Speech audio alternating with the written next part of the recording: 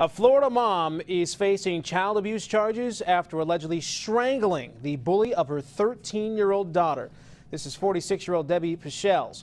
And her daughter posted photos of herself at a concert over the weekend on Facebook, and a 14-year-old boy started making ugly and sexual comments. Well, the mom then saw that the teen at the mall Monday, and she went over and started choking him, which was reportedly caught on camera.